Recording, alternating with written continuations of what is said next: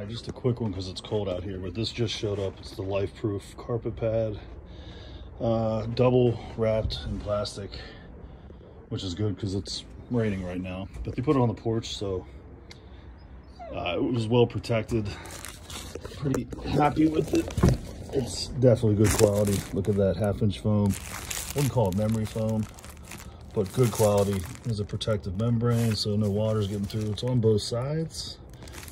And uh, I'm excited about the quality of it. Plus the, uh, the soundproof properties of it will be good because it's going in an upstairs bedroom. So it'll really dampen the sound. So pretty happy with it.